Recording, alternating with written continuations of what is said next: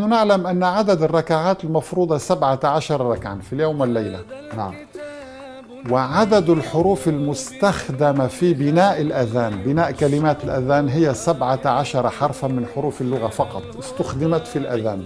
سبحان الله العلي وهي الألف اللام الهاء الكاف الباء الراء الشين الدال النون الميم الحاء السين الواو الياء العين الصاد الفاء.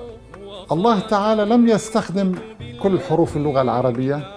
استخدم عددا من حروف اللغة يساوي عدد الركعات المفروضة ليركب منه هذا الأذان الذي هو نداء للصلاة. منزل ذكره جل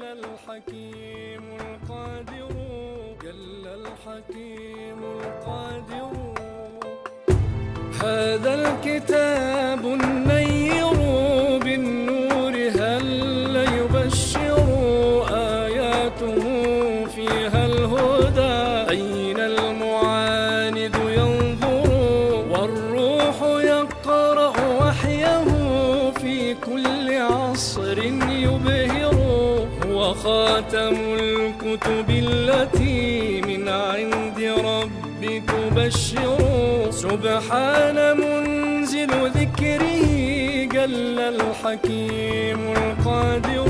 سبحان منزل ذكره جل الحكيم القادر. جل الحكيم القادر. بسم الله الرحمن الرحيم. يقول الله تبارك وتعالى يريدون ليطفئوا نور الله بأفواههم. والله متم نوره ولو كره الكافرون.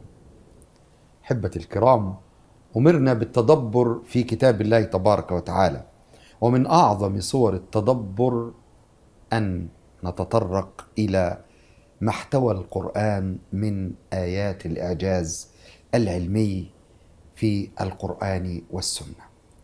ونرحب في بداية لقائنا كما تعودنا بالأستاذ الدكتور عبد الدائم كحيل. مرحبا دكتور. بارك الله بكم يا الله وسهلا. ومرحبا. شرفتنا في هذا اللقاء المتجدد. جزاكم الله عنا كل خير. دعنا دكتور نسأل سؤال نبدأ به حلقتنا وسؤال قصير ولكنه مفاجأة وصادم لكن سنستفيد من إجابتك. نعم. لماذا الإعجاز العلمي؟ بسم الله الرحمن الرحيم. الحمد لله رب العالمين والصلاة والسلام على سيدنا محمد وعلى آله وأصحابه صلى الله أجمعين. عليه وسلم. ذكرت الآية الكريمة يريدون ليطفئوا نور الله بأفواههم. نعم نعم. اليوم الحرب على الإعجاز وعلى الإسلام بشكل عام ماذا يستخدمون فيها؟ الأفواه الإعلام الكلام. صحيح. فهي حرب كلامية فقط. وعلى مواقع التواصل. نعم مواقع كلام. التواصل والفضائيات وال- وغير ذلك. طيب النبي عليه الصلاة والسلام كيف يتنبأ بأنه سيأتي زمن تشتعل فيه حرب على الإسلام بالأفواه فقط. سبحان الله. يريدون أن يطفئوا نور الله بأفواههم ويأبى ويأبى الله إلا أن يتم نوره ولو كره الكافرون. عجيب الاختيار بكلمة بأفواههم. سبحان الله. نعم. أول مرة أركز معها. يعني سبحان الله. نعم. تفضل دكتور. لذلك هذه هذه الآية الكريمة تنبئك أيها المؤمن لا تحزن فهذه الحرب مستمرة حتى يرث الله الأرض ومن عليها وهي حرب أفواه. حرب أفواه فقط نعم نعم وسوف وسوف تفشل الله أكبر نحن الآن حسب مركز بيو ريسيرش الأمريكي الشهير جدا والموقع الإحصائي رقم واحد الموثوق بالنسبة للعلماء. والباحثين. نعم. نعم.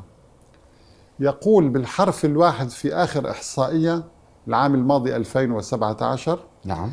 الإسلام هو أسرع الأديان انتشارا على الإطلاق. الحمد لله رب العالمين. حقيقة علمية. جميل. نسبة انتشار الإسلام تصل أحيانا في بعض الدول مثل أستراليا إلى 400 بالمئة. يا الله. وفي كندا أكثر من 200 بالمئة. وفي أمريكا أيضا نسبة عالية في أوروبا في فرنسا. ففي عام 2050 ستصبح أوروبا قارة إسلامية. إذا بقيت هذه نعم. ويستطيع الرجوع إلى الإنترنت نجد يستطيع أن يرى هذا الكلام. الجداول والمخططات جميل. والإحصائيات بيانيا أو رقميا نوضح موجودة. للمشاهد هذه موجودة. نعم. نعم. طيب أمام هذا هذه العظمة للإسلام مم. الذين درسوا الإسلام في الخارج وأسلموا. هل عبثا؟ لا. أليس لديهم عقول علمية؟ هل ينتشر الإسلام بالسيف الآن بينهم؟ ابدا. أبدا لله من الذي يقنعهم؟ العلم. لأن ال- الإسلام تعاليم الإسلام قوتها في ذاتها. هي قوية بذاتها. لا تحتاج لمن يدافع عن الإسلام. سبحان الله.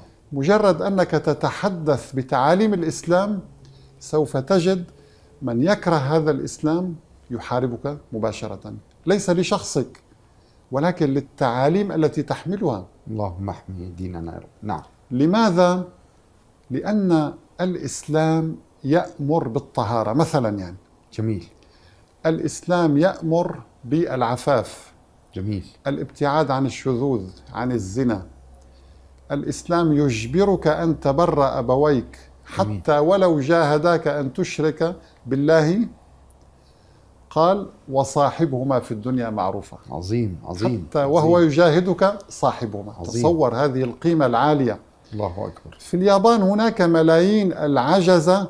أصبحوا عبئا على الدولة يكلفون مليارات الدولارات سنويا يريدون أن يبعدوهم إلى الريف. ليتخلصوا من عبئهم. ويفكرون الآن في صناعة إنسان آلي ونيسا لهم عوضا عن الأبناء. سبحان الله لأن نعم. الابن يعني عدم بر الوالدين يكلف الدولة مليارات الدولارات. الله تصور أكبر. هناك خسائر مادية جميلة. أيضا. عدم بر الوالدين يكلف الدولة خسائر. نعم. نعم. ينفقون مليارات. يا سبحان الله على الإسلام. جميل. إذا هذه المبادئ كلها لا يريدها الملحد. لماذا؟ لأنها عكس ما هواء يطمح أو أو يهوى. نعم. يقول تبارك وتعالى وإذا ذكر الله وحده اشمأزت قلوب الذين لا يؤمنون بالآخرة.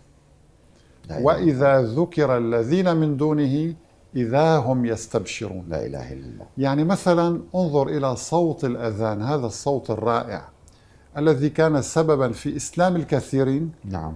هناك من ينزعج منه هناك من يعني لا يرغب بسماعه. مع الأسف. يشمئز قلبه. لذلك سبحان الله في كلمات الأذان هناك إعجاز يسحر القلوب. الله أكبر. يعني, شوقتنا. يعني تصور أنا أريد أن أخاطب الملحدين الذين يدعون أن النبي هو الذي اخترع الإسلام. مم. فقط بمعجزة الأذان. هذا الأذان من أين جاء به النبي؟ طبعا هو وحي من الله سبحانه وتعالى. نعم. الأذان فيه إعجاز عددي يتناسب مع معنى الكلمات الموجودة في هذا النص الرائع. إعجاز عددي في الأذان؟ نعم. جديدة دي. نحن نؤذن أو المؤذن يؤذن في اليوم خمس مرات صح؟ صحيح. نعم. ونقيم الصلوات خمس صلوات. خمس صلوات نعم. والصلاة طبعا فرضت ليلة الإسراء والمعراج نعم. لعظمها نعم في سورة الإسراء سبحان الذي أسرى. أسرى بعبده ليلا نعم آية من آيات طيب. الله نعم دعني أتأمل معك فقط بعض هذه العجائب جزء يعني من هذه العجائب لندرك عظمة هذا الأذان ولماذا يكره هؤلاء الملحدون يكرهون كلام الله وهذا الأذان. دعني أتأمل معك هذا النص الإلهي الرائع جميل. لكلمات الأذان وعلاقته بأشهر السنة لأنه لا ينقطع على مدار السنة. نعم. و- والأماكن كمان بلاد. وفي كل مكان سبحان نعم. الله حسب خطوط العرض الأرضية، مستمر. نعم مستمر سبحان الله. نعم. هذا الأذان الله أكبر الله أكبر. الله أكبر الله أكبر. أشهد أن لا إله إلا الله أشهد أن لا إله إلا الله. أشهد أن محمد رسول الله أشهد أن محمد رسول الله. حي على الصلاة حي على الصلاة حي على الفلاح حي على الفلاح. الله أكبر الله أكبر. لا إله إلا الله. لدي هنا إثنى عشر مقطعا بعدد أشهر السنة. صحيح 12 مقطع. فهو لا ينقطع أبد الدهر. علاقة عددية ربانية. سبحان الله. سبحان الله. وآخر عبارة هي لا إله إلا الله التي قال عنها النبي صلى الله عليه وسلم خير ما قلت أنا والنبيون من بعد لا إله إلا الله ختم بإثنى عشر حرفا. لا إله إلا الله تتألف من إثنى عشر حرفا. جميل جميل. ومحمد رسول الله تتألف من إثنى عشر حرفا. شو توازن. الرائع ده ما شاء سبحان الله, الله.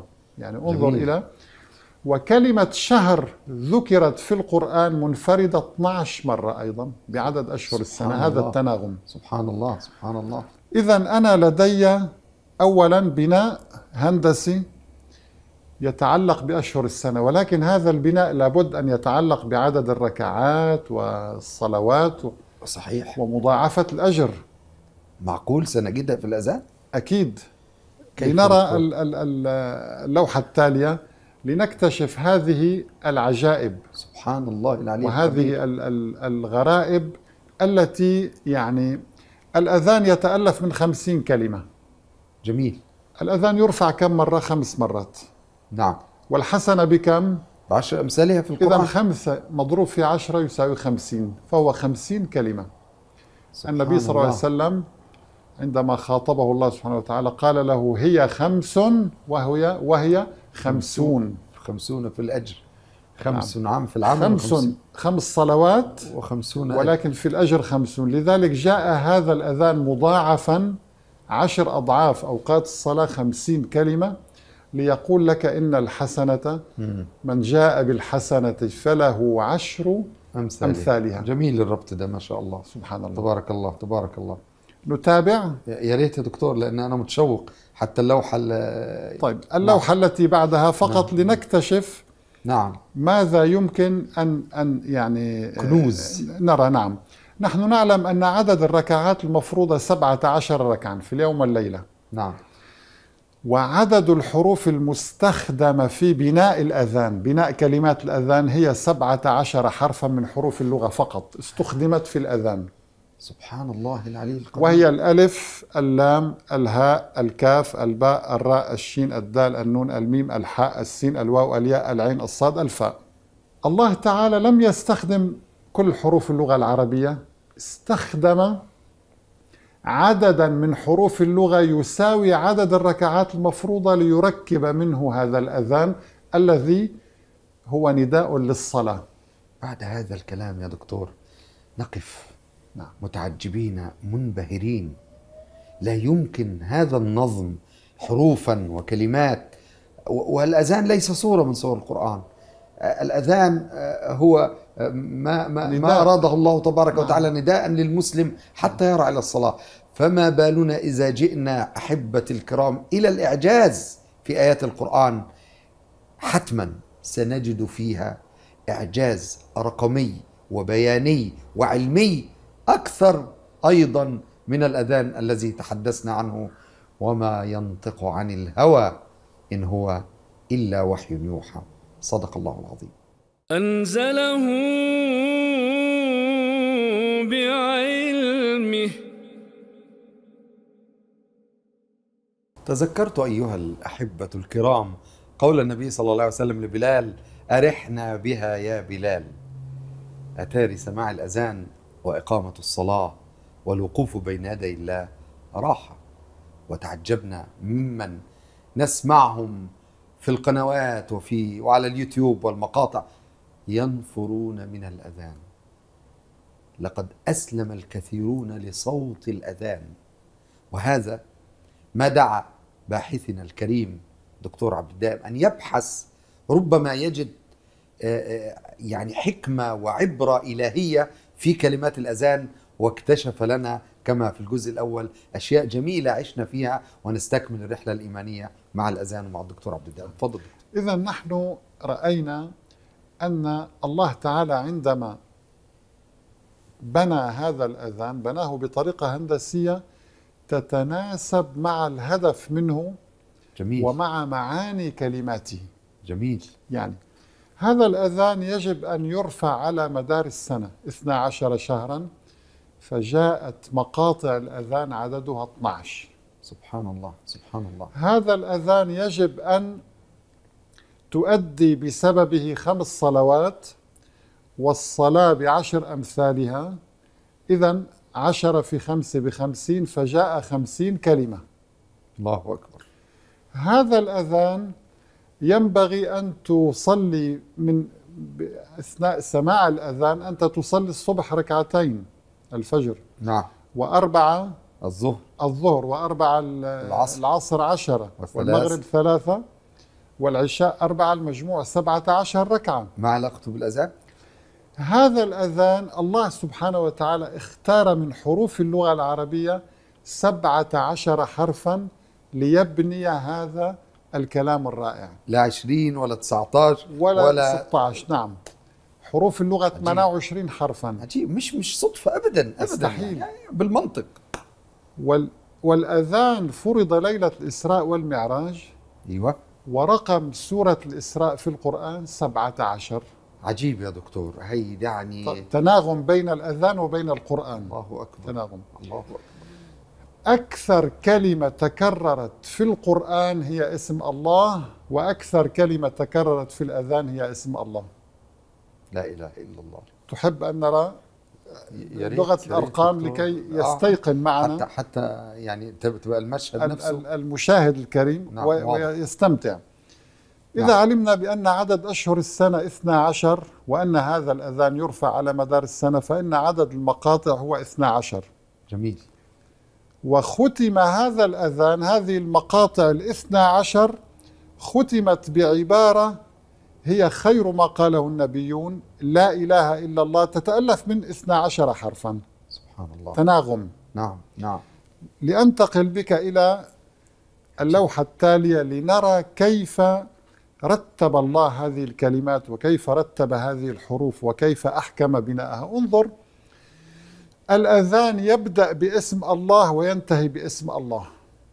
لا إله إلا الله. أحكام يعني عجيب. يعني هذا يدل على أن الله هو صاحب هذا الأذان. منه وإليه ترجعون. سبحانه وتعالى. انظر. يعني تقول الله أكبر أول شيء أول شيء الله. آخر شيء لا إله إلا الله. تبدأ بألله وتنتهي بألله سبحانه. وتعالى. وموافق للقرآن. متفق. إنا لله وإنا إليه راجعون. سبحان الله. أنت بدايتك من ربك ونهايتك إلى سبحان الله، ربك سبحان الله. لذلك يعني دعني أتابع معك وأتأمل هذه الروائع فعلا. يعني الإنسان الذي له عقل ينبغي أن يتأمل. أكثر كلمة تكررت في الأذان هي اسم الله أحد عشر مرة. انظر واحد وواحد. انظر. سبحان العدد أحد عشر هو العدد الوحيد الأولي الذي يتألف من واحد لواحد واحد وواحد. سبحان الله. عدد لا يقبل القسمة إلا على نفسه وعلى واحد. الله أكبر. وأكثر كلمة تكررت في القرآن هي اسم الله تكررت 2699 مرة وهو أيضا عدد أولي لا يقبل القسمة إلا على نفسه وعلى واحد. الله أكبر. ألا يدل على أن صاحب هذا الكلام هو الواحد الأحد سبحانه وتعالى؟ سبحانه وجل في علاه. إذا هذا التناغم وهذا التوافق والتطابق بين القرآن وبين الأذان يدلك على أن المصدر واحد, واحد. نعم نعم. أنتقل بك إلى مزيد من العجائب لكي نرى مما مضى. لكي نرى يعني وهذا القليل هذا القليل مما سنعرضه. نعم. لو قمنا بعد حروف الله تعالى في الأذان الألف اللام الهاء. نعم. سوف نجد 112 حرفا. عدد حروف ال- الله يعني الألف كم. مرة؟ واللام والهاء. هذه حروف الله تعالى. نعم. الحروف الأبجدية لاسم الله. لاسم الله. ثلاثة أحرف عددها 100 112 نفس رقم سورة الإخلاص. قل هو الله أحد. سبحان الله, الله. أحد. انظر. سورة التوحيد والإخلاص. نعم. أن الله واحد. وآخر سورة ذكر فيها اسم الله في القرآن هي قل هو الله أحد. سبحان الله. يعني أول مرة ذكر اسم الله في سورة الفاتحة. نعم. بسم الله الرحمن الرحيم. نعم. وآخر مرة في سورة قل هو الله أحد عدد السور 112 نفس عدد حروف اسم الله في الأذان. شو هذا الربط العجيب؟ تناغم يعني التناغم نعم. سبحان الله. نعم. نعم. دعني أنتقل بك إلى القرآن الكريم. جميل. نحن نعلم أن الإنسان أو المؤمن يركع لله سبعة سبعة عشرة مرة في نعم. اليوم والليلة. الفروض. نعم. عدد الركعات المفروضة. نعم 17 كل ركعة فيها ركوع. وسجودين. سجودين. نعم. إذا كم مرة تركع لله في اليوم؟ 17 17 وتسجد وتسجد 34 34 نعم. هذه حقيقة دينية معروفة. يطبقها. نعم. طيب في القرآن الكريم وردت كلمة اركعوا كثيرا صح. وأسجدوا كثيرا ولكن اركعوا واسجدوا مرة واحدة فقط في أواخر سورة الحج. عجيب. جمع بينهم مرة في واحدة. مرة واحدة جمعة كما أنت تجمع في الصلاة بين الركوع ثم السجود. سبحان الله. يقول تبارك وتعالى يا أيها الذين آمنوا اركعوا واسجدوا واعبدوا ربكم وافعلوا الخير لعلكم تفلحون. إذا الآية الوحيدة التي جمع فيها بين الركوع والسجود اركعوا واسجدوا بهذه الصيغة طبعا. هناك صيغ أخرى في القرآن ولكن كأمر للمؤمنين اركعوا واسجدوا نعم. وردت في هذا الموضع. طيب. طيب أنا لو أردت كمهندس أن أضع هذه الآية في موضع يتعلق بعدد الركعات وعدد السجدات. ماذا أفعل؟ تأتي بين يعني, ركعات. يعني يجب أن أن أختار موقع مناسب. نعم. أين وضع الله هذه الآية؟ أي؟ وضعها في الجزء 17 الحزب 34 أنا أنا ما ترتيب لا تعليق ترتيب إلهي سبحان الله. لا. سبحان من أنزل سبحان هذا الله. القرآن بنظمه وحكمته. سبحان الله. أقم الصلاة. تكررت في القرآن. نحن كم مرة نقيم الصلاة؟ في اليوم والليلة. خمس مرات. آه خمس مرات. الأمر الإلهي أقم الصلاة. ذكر في القرآن خمس مرات بالضبط فقط بعدد الصلوات الخمس. ونحصي هذا عندما ن- ن- نعم. دع المشاهد يعدها بنفسه. نعم. نعم. أقيموا الصلاة اثنا عشر مرة بعدد أشهر السنة. أقيموا بالجمع سبحان الله. لأن لأن ال- الأذان يقام في كل الكرة الأرضية. صحيح. خمسة زائد 12 يساوي 17 هو عدد الركعات المفروضة. توافق عددي عجيب سبحان الله. فإذا أنت هنا لست أمام كتاب عادي. ولا كتاب معجز هو ما فوق الإعجاز هو ما فوق من الإعجاز. يعترض على كلمة إعجاز نقول له إن هذا القرآن لو كان هناك كلمة ما فوق الإعجاز لاستخدمناها ولكن هذه حدود اللغة جزاك الله على هذا الفتح كل خير بارك الله دكتورنا. الغالي وذكرنا الدكتور عبد الدائم بقول الحق تبارك وتعالى قل لئن اجتمعت الإنس والجن على أن يأتوا بمثل هذا القرآن لا يأتون بمثله ولو كان بعضهم لبعض ظهيرا. صدق الله العظيم. الوحي هل معطرا بالخير جاء منورا والغار غرد ذكره جبريل يقرأ كررا. قد أحكمت آياته بالخير فاض وبشرا. ختم الجمال أوحى وصورا ختم الجمال بعطره والله أوحى وصورا.